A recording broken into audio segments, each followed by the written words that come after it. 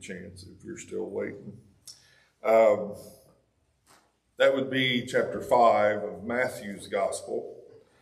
I'm going to just have a few verses there, starting in verse 33 through 37, this next section of the Sermon on the Mount.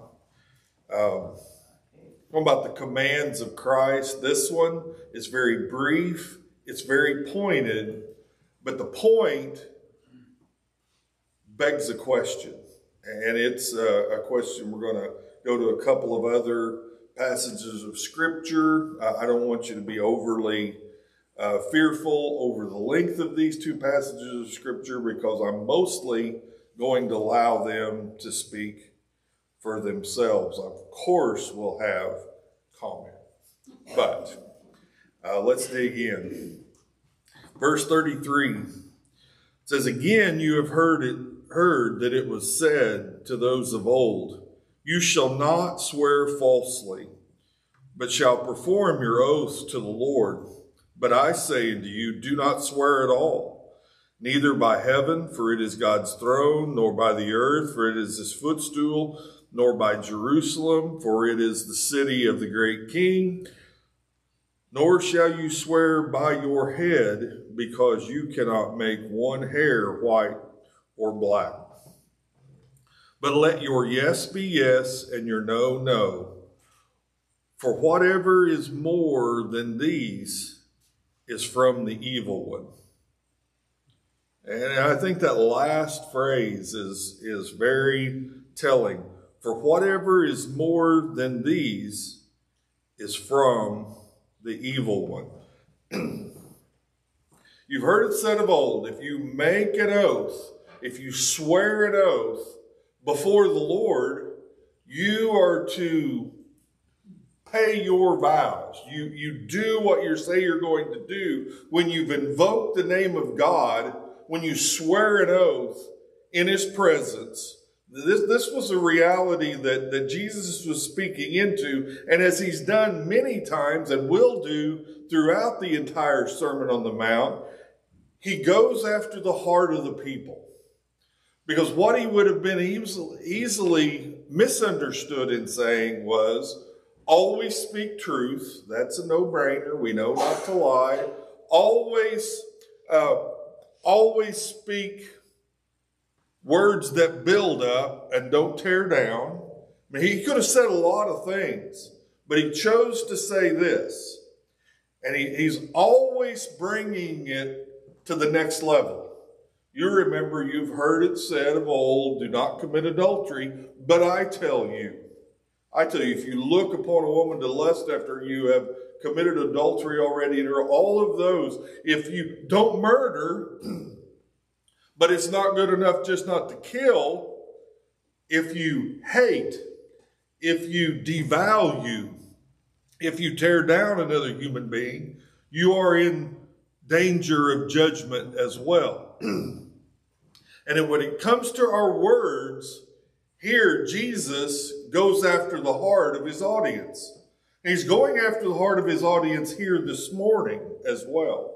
He wants us to understand what it is he's communicating to us so that we can take heed of it. You remember where we came from to get here. All authority is given to me in heaven and earth. Go and make disciples, baptizing them and teaching them to observe all things that I've commanded you, and lo, I'm with you always, even to the end of the age. It's this teaching them to observe, teaching them to keep, teaching them to obey from the heart those things which he commands. And here is another command of Christ. But let your yes be yes and your no, no. Whatever else is more than that is of the evil one. Let your yes be yes and your no, no. Where does all this swearing come from? Where, where does all this oath taking come from? So, what Jesus is getting at is this was the most this was the most revered speech within this culture that there was available. These were the most revered people that he was speaking to as well, but they, they would they would look, always look for an opportunity to invoke the Lord, to invoke some promissory, you know, let it be unto me as it is unto this sacrifice if I don't keep my vow. They were always trying to be believed based on how high they were willing to go in a threat to themselves to confirm their word to another. And there, there was a certain amount of one-upsmanship within this. I mean, if one person would, uh, you've heard people say things like, well, I, I swear on my mother's grave. Okay. Well, how about I swear on my mother's life if she's still alive?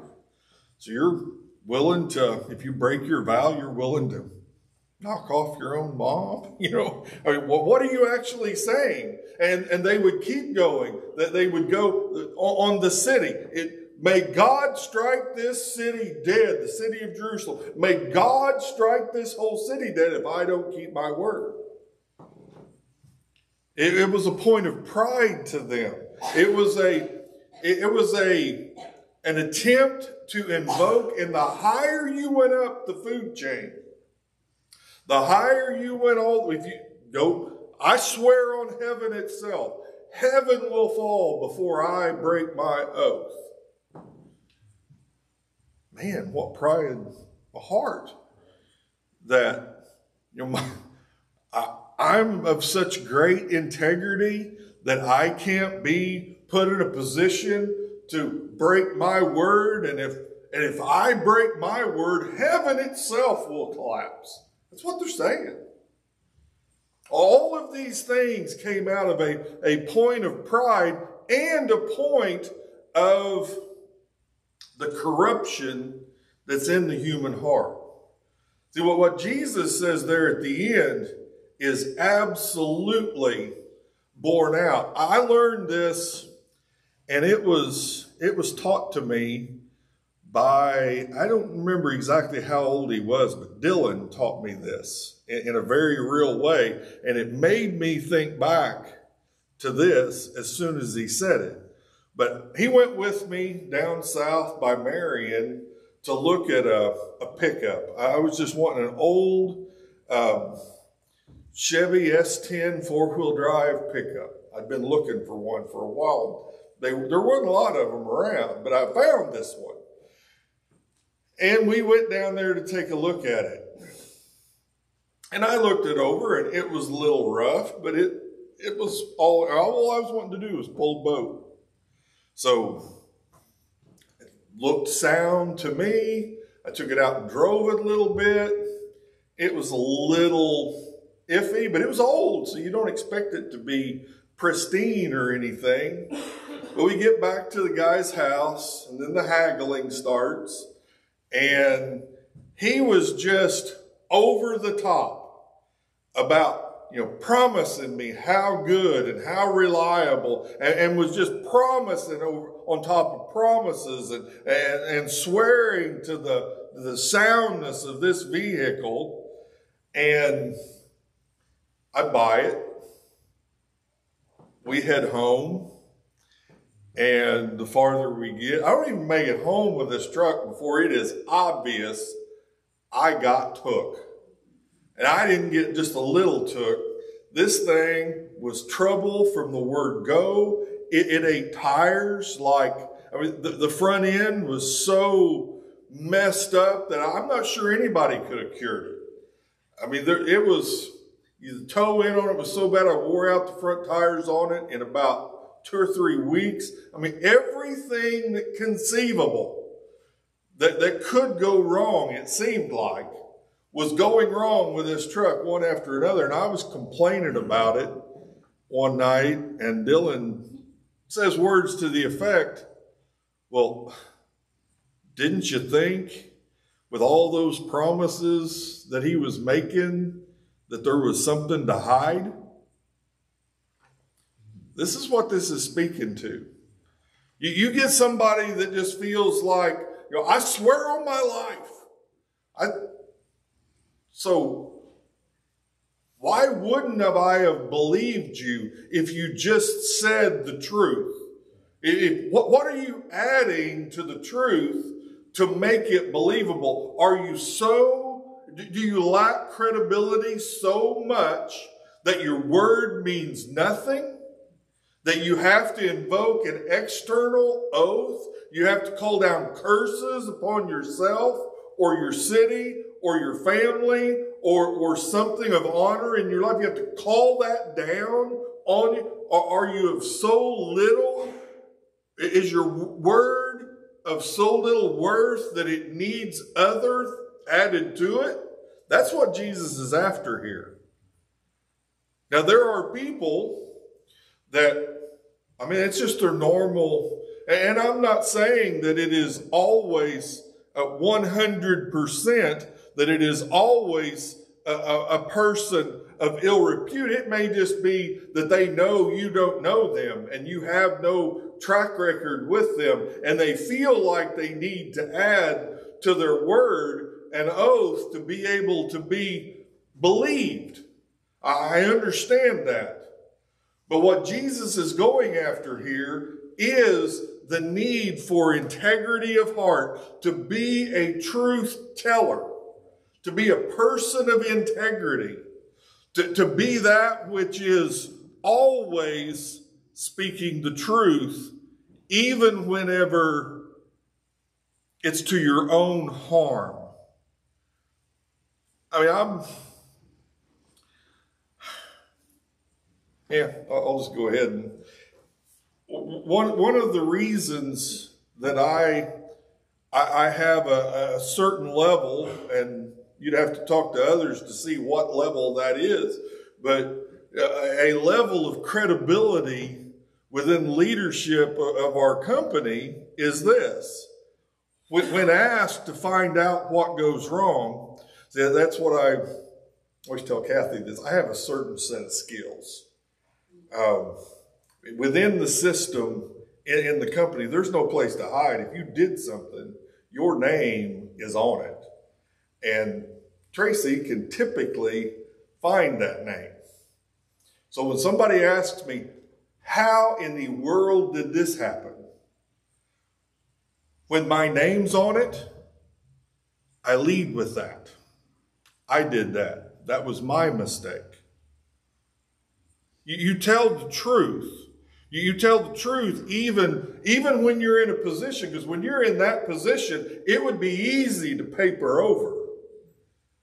It'd be easy to paper over your mistakes and, and pass the buck on to, to someone else. If you're in the position to be assigning uh, responsibility, but it's when you're able to, you, your yes can be yes and your no can be no, and you don't have to swear an oath on top of it if you just simply always tell the truth. Even when the truth isn't flattering to you, even when the truth ends up being costly to you, you speak it. You speak it, even when it's uncomfortable. I can remember once a, a a lady came into my office and she was barely touching the ground. She was so mad. She was just stomping mad. How in the world did this happen? And immediately I thought, I think I know how this happened. And you'll probably leave this office different than you came in. So I do my thing on the computer. I look here and, and I said, and it looks like, and I said her name, did this, which caused this, which caused this, and you have exactly what you initiated. And I'm not, well, I still enjoy it a little more than I should. she left my office in tears. she, she was almost mad enough to cry when she came in, and then she, she was so embarrassed as she left. See, that, that's what we're talking about here is, is always being a person of integrity. And that's what Jesus was talking about here to these people. These people were trying to mask an, an evil motive. They, they were trying to they were trying to mask an evil motive with costly oaths, most of which they had no ability to cash in on. I swear by my own head. And he says, You can't even make one white, one hair white or black. I would add to that, you can't even make one stay in if it wants to let go. I mean, what, what are you going to do? What, what are you going to do? You, you, you're powerless to do anything other than to speak the truth. Now, there are two passages, one fairly short, another a little longer, that I'm going to jump to just to speak to this whole thing of our speech. Because what Jesus put in the crosshairs with, put in the crosshairs here in his sermon, was the speech of highest value culturally within that people. They had great respect for those who would call down oaths on themselves or, or, curses upon themselves or upon that which they valued to back up the words that they spoke. And Jesus is just saying, speak it from the heart. If it's true, it'll come true. If it's true, it'll be borne out, and you will not be believed because of your great oaths. Anything more than that is of the evil one, because what it will do is it will make your truth sound less than true because you feel like you have to have an oath to back it up. Just speak the truth. Anything more, anything more is of the evil one.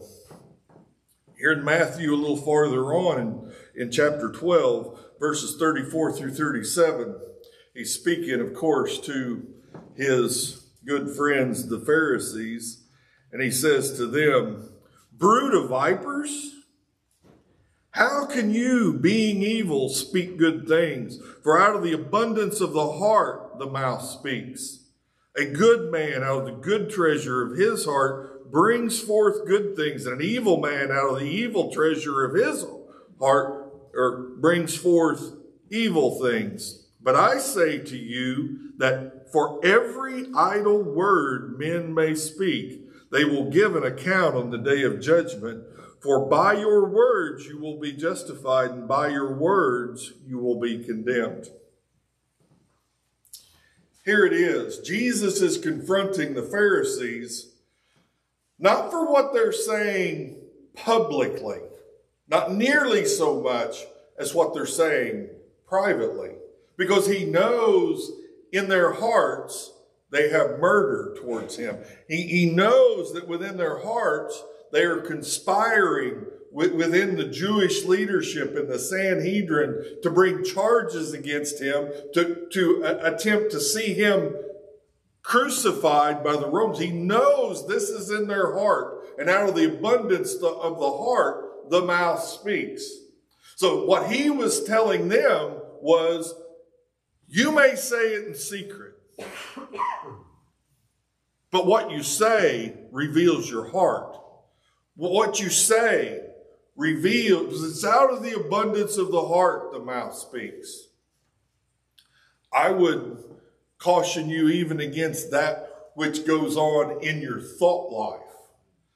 Because not every word that's in your heart comes out through your mouth. Now, what comes out through your mouth does reveal the heart, but, but what your thought life looks like, what, you, what your reactions are to things that happen around you.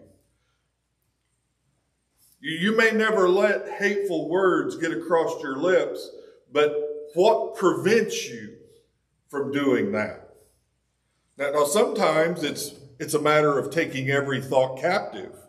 That, that you think that retaliatory thought, but then you capture it you cast it aside and you, re, you, you move on. You, you repent of that and you move on perfectly fine.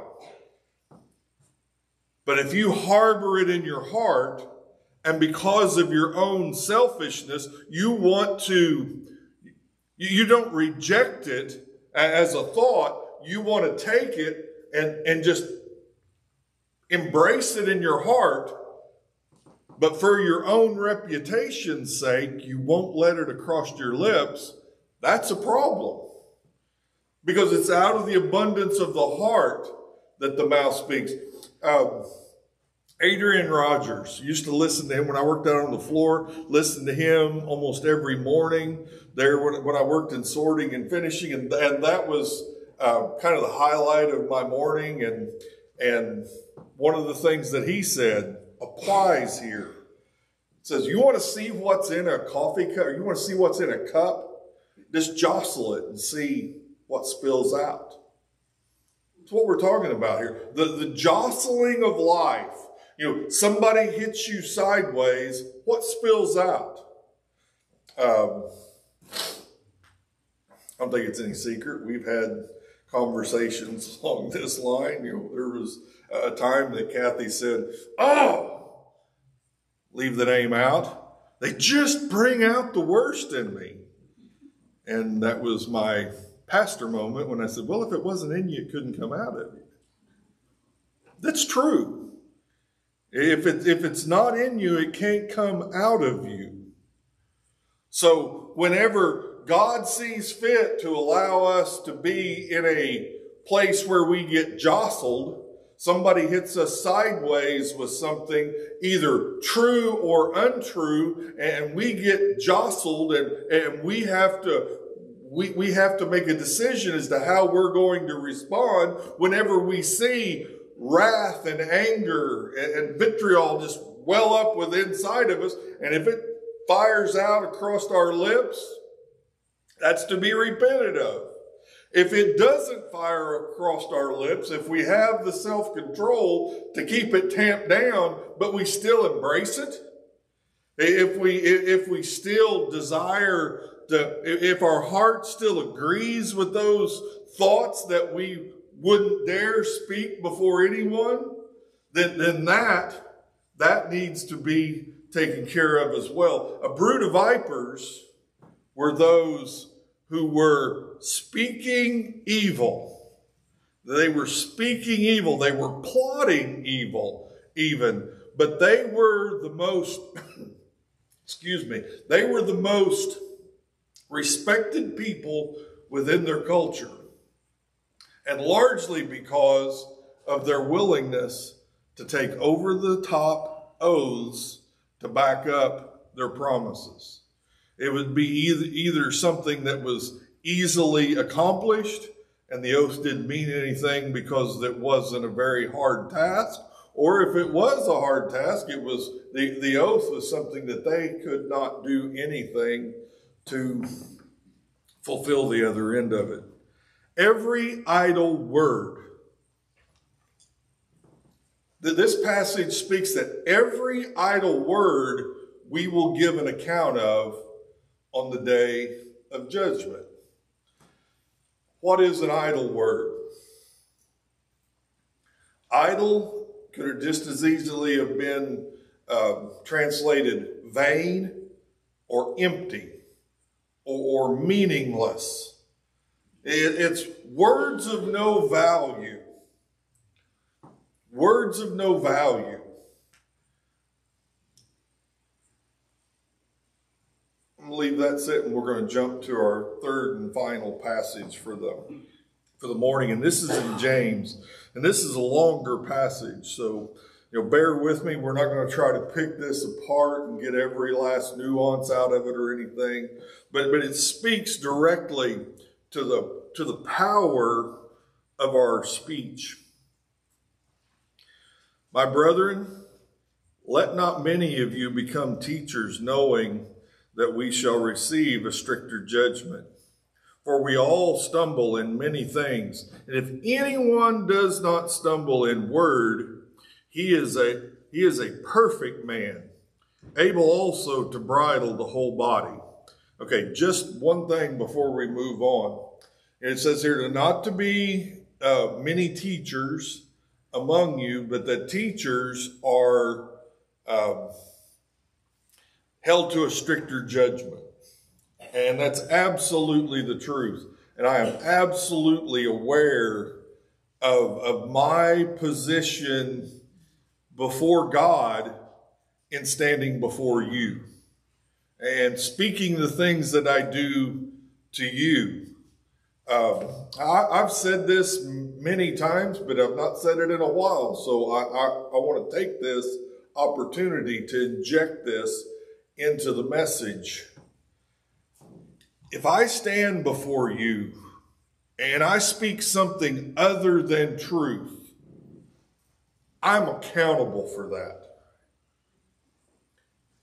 If I stand before you and I speak something other than truth to you and you believe it, you are accountable for that. We're both accountable.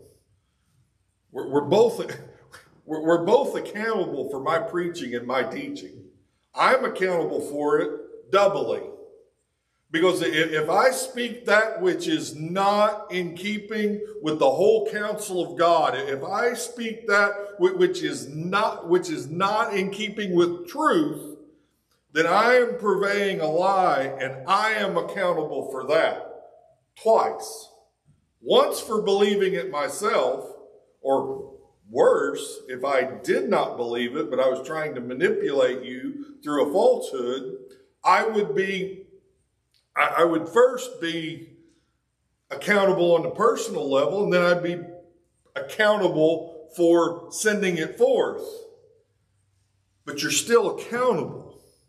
You're still accountable for what you believe, even if you believe nothing beyond that which I say. When you stand before God and you give an account for your beliefs before Him, Tracy Bennett said, will not be something that will get you off the hook. It puts me on the hook, and God already knows, but it won't let you off the hook. So always be like the Bereans who were more noble than their brethren, and they searched the scriptures to see if these things be so. So much for not making a lot of comment, huh? Verse 3 Indeed, indeed, we put bits in horses' mouths that they may obey us, and we turn their whole body. Look also at ships Although they are so large and are driven by fierce winds, they are turned by a very small rudder wherever the pilot desires. Even so, the tongue is a little member and boasts great things. See how great a forest a little fire kindles. And the tongue is a fire, a world of iniquity. The tongue is so set among the members that it defiles the whole body and sets on fire the course of nature, and it is set on fire by hell. For every kind of beast and bird and reptile and creature of the sea is tamed and has been tamed by mankind, but no man can tame the tongue. It is an unruly evil, full of deadly poison. With it, we bless God and we bless our God and Father, and with it we curse men who have been made in the similitude of God. Out of the same mouth proceeds blessing and cursing. My brethren, these things ought not to be so. Does a spring send forth fresh water and bitter from the same opening? Can a fig tree, my brethren, bear olives or a grapevine bear figs? Thus no spring yields both salt and fresh water.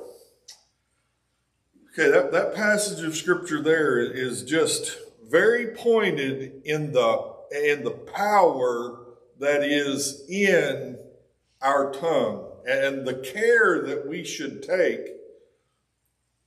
But the primary, the primary thing that goes through the course of the entire passage is this attention to what we read about there in, in Matthew 12 the heart.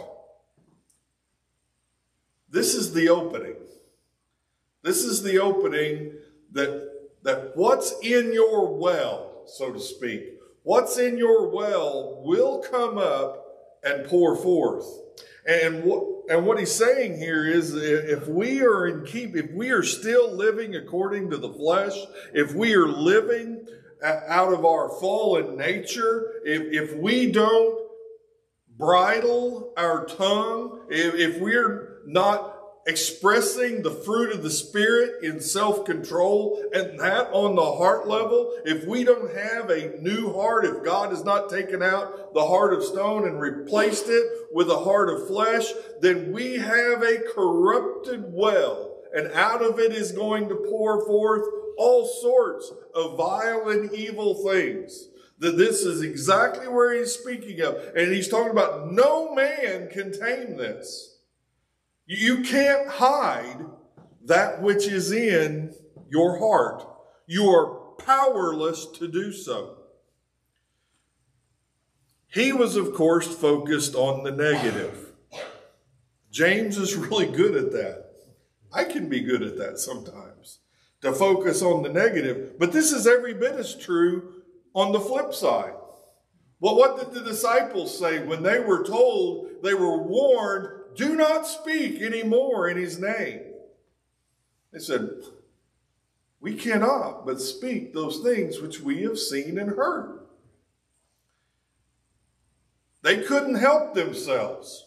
Out of their well, sweet water was going to pour forth. Out of their well was going to come up, you know, a, a, not a fire of iniquity, but, but Holy Spirit fire was going to pour forth out of their mouth. They were revealing who they were on the inside. James has in the crosshairs the corrupted heart that is to be excised and replaced with a heart of flesh that's to be given with a new birth. When you're made a new creature, you'll have a new heart, new desires, new focus, a new speech. That was one of the most telling things about me at my conversion was my speech. And Kathy mentions that when she knew it was real, because she'd seen enough out of me to know, hold off judgment, this may not last long. She's seen me in traffic. No sign language, no air turned blue, with, with the cursing at the top of my lungs at people that couldn't hear me. None of all that was gone. And she's like, ooh. Got a new husband and didn't even have to get a divorce. This is pretty cool. Know, we, we, we, we get changed on the inside. God does that work to change us fundamentally on the inside, or we have no hope. We, we have, we, we can tell though, largely by that which pours forth out of us. I don't know, but most people that I'm around very much anymore, they know I'm a preacher.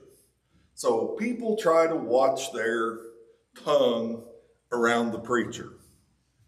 Um, some don't try at all. Uh, others try and are somewhat successful, but if, if pushed into a, a tight spot, if things get intense, if the tempers start to raise, if the pressure is on, it's going to come out. And then it's like, oh, I didn't mean to do that. James James chapter 3. That's what's happened. Can't help themselves. That they can bridle it, that they can hold back so long, but they, they let it go. They, they let it go. What we're after is the heart change. What we are after is that which it is a well that we can draw from that brings forth truth, that speaks that truth in love, and, and does not does not withhold truth. Because truth is incredibly valuable, especially to those who lack it. So love speaks the truth, but it speaks the truth from a place of love. And the power of it is fiery because it's true of, of godly speech as much as it is of ungodly speech. Godly speech has fire on it as well, but it's not consuming people, it's consuming flesh, it's consuming sin, it's consuming wood, hay, and stubble out of the lives of others and our own life as we speak the truth in love. Do not withhold truth from those who need it. And by need it, I mean that you are aware of their lack of living in agreement with that truth. They may have it up here, but if they don't live by it down here, they need to hear it or hear it again. If you see me, if you, if you see me acting out in pride, then by all means, speak the truth to me in love. No, I ask that you do it in love. Don't just, you know, put the axe to the root, you chop my legs out from underneath me or something. But, you know, I want truth. And you should want truth. And we all want to live in the light of this truth. God's love compels us.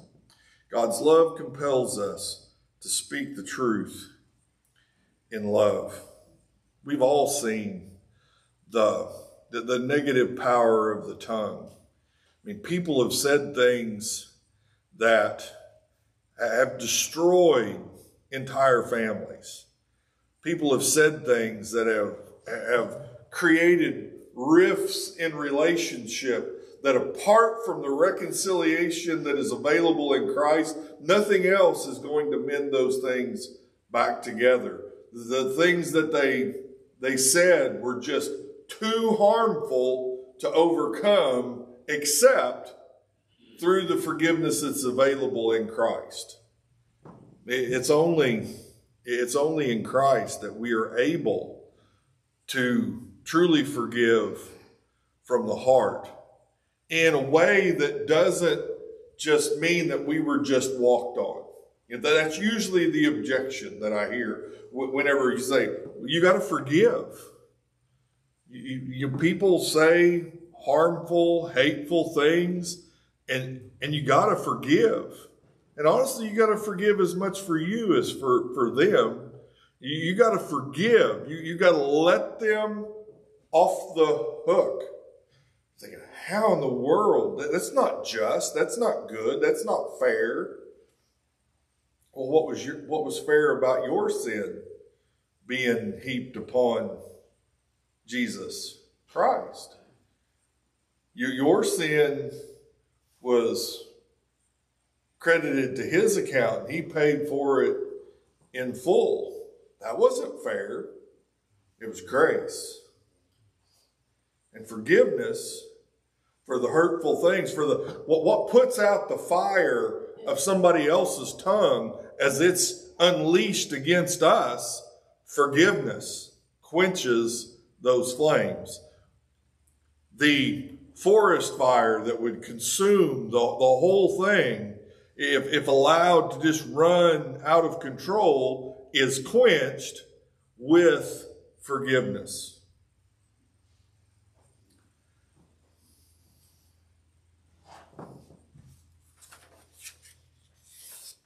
You know what this means? Sometimes nothing. But this morning it means I'm done. Lord, I, I thank you for, for your word about our words, Lord. And I just ask you to, Lord, bring to our remembrance, Lord, anything that we've spoken in, in anger and haste, Lord, anything that we have spoken that that we need to go and, and make amends for, Lord. Any destructive fire that we have that we have let loose, Lord, into the lives of others, God. I, I just ask you, Lord, to, to grant us grace, Lord, to be able to to go and be reconciled to those that that we've harmed with our words, Lord, and and God for for those that have have harmed us through theirs, Lord. I, just ask you to grant us grace, Lord, to be able to show grace, Lord, to to truly forgive those and to forgive them from the heart, Lord, for that which was destructive and was was unleashed towards us, God. I just ask you to do that, Lord, in each of our hearts, that we would be able to to walk free from the word wounds of others, Lord. God, I just trust that your Holy Spirit is searching each of our hearts, Lord, that that Lord, those things that come to mind on either side of that ledger, Lord, that we will recognize that it's your spirit that's that's causing those things to come to the top of our mind, Lord. And I just ask you to to grant us grace to to deal with it according to wisdom. Lord, I just thank you so much for the searching of our hearts, Lord, for the replacement of our old heart, Lord, with a new one. God, I thank you for your continuing work of, of renewal that, that renews our mind, Lord, that teaches us new ways of, of processing the world around us, Lord, after, after godliness and righteousness, Lord. So I just pray your blessing upon your people as we go from this place. And, and Lord, we trust you to lead us and guide us in the paths of righteousness for your name's sake. Amen. Amen. It's one one thing just to, to remind you if in the course of any of these messages that we're preaching on the commands of Christ and what he wants us to do with different areas of our life, I mean if you if you find yourself in a place where you know on the heart level you want to live in agreement with it, but you're you're struggling and you don't know why, or or you want to counsel together or to pray together or anything like that, you know, just know that I'm I'll make myself available, whether that's to stay after or to meet you throughout the course of the week, or if there's somebody else, you know, trusted in the congregation you want to get aside with and and work through those things. Don't don't let these things pass by just because they're they seem like they're too difficult. The Lord is fully able to cause us to walk in, in freedom in these things.